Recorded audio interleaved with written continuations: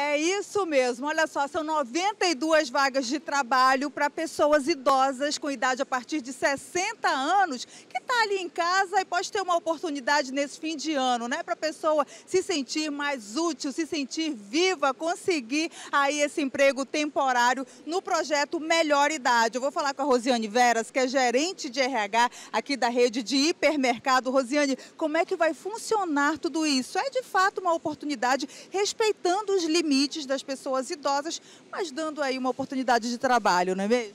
Exatamente. O nosso objetivo é trabalhar essa inclusão desse tipo de público, trabalhando aí essa questão da diversidade.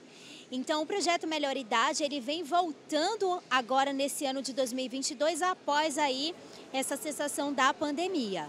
É sempre bem aceito? Muita gente se inscreve? Muitíssimo aceito.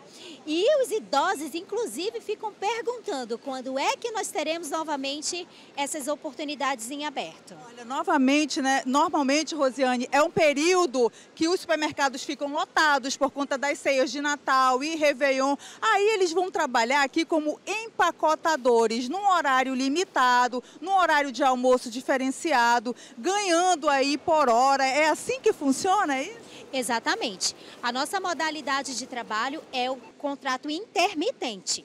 Então, o contrato intermitente ele ganha por hora produzida.